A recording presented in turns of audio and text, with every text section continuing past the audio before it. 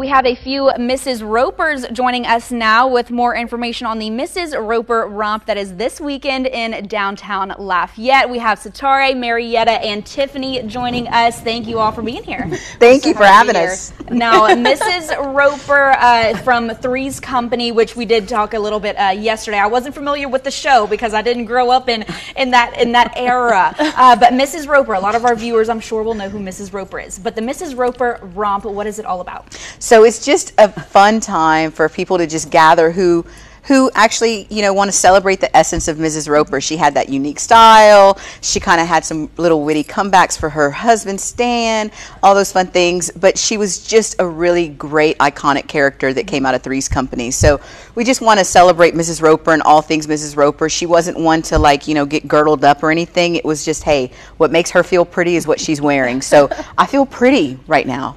and comfortable. And comfortable. I wish I was wearing something like that every day. we can we can fix that for you. We'll find one. Perfect. For you. So yes. Saturday. yes, yes. Gonna go shopping for my Mrs. Roper outfit. Head out yes. to the romp in downtown Lafayette Saturday. How is the romp gonna work as far as where it's starting, where it's ending? So it'll start at um, the Bougie Bar Candle um, place downtown, and so from there we'll check in from three to five, and from five we'll move on to the green room, and then from there we'll just keep romping along downtown. We'll stop at Sundays for a style show. We'll be at Legends with trivia from Pigeon Post Trivia. Um, we're going to move over to Wild Child Wines. Um, and then from there, we'll end at the Hideaway on Lee with the Magnolites. And of course, we have to talk about the why because this this is supporting a great cause, the Period Purse Project. What does the Period Purse Project do? So, do you want to say? Or, uh, so this is so she represents Zonta, right? Mm-hmm. So Zonta Club has really adopted the Period Purse Project as one of their service projects. It's been phenomenal working with them.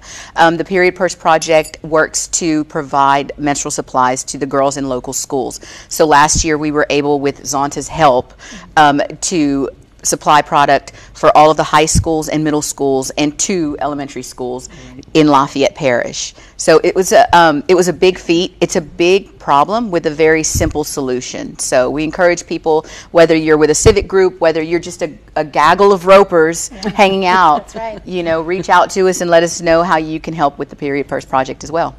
So the registration is the way that people are going to be able to help with the Period Purse Project and what you guys do. So registration, how do we do that? Uh, who do we need to pay? So you would um, you can find us on Facebook and you'll see the link there um, to pay through Venmo or Cash App. We're keeping it super simple this year. Just pay it. We know we see your name and then we'll we'll we'll have your stuff ready for you there at the check-in the first ever Mrs. Roper Romp here in Lafayette, the first ever in Lafayette, uh, that is going to be benefiting the Period Purse Project this Saturday, August 5th. You can head to their Facebook page, the Lafayette Mrs. Roper Romp, if you would like to register.